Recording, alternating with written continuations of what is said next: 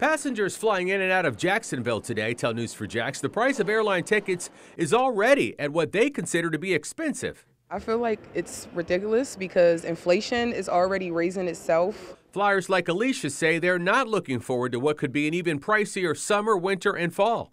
During an annual meeting of airline executives in Dubai, the International Air Transport Association cited the following reasons for price increases in the airline industry this year ongoing inflation, the price of jet fuel, and a global push for the aviation industry to decarbonize. We're seeing them already. Um, you know, the planes that we've had over the years, some of them are older and they're not as eco-friendly as the newer models are those planes still have to fly. They still have to fill them and keep them in the air. So yeah we're seeing those increases in price. Margie jordan who's the owner of jordan executive travel says she's already seen the prices of flights creep higher noting a surprising trend when comparing the price of traveling internationally and flying within the united states. So you know what we're actually seeing is a trend that i wouldn't have expected but it sort of makes sense we're seeing that domestic flights are actually much higher than international flights are in terms of price increases.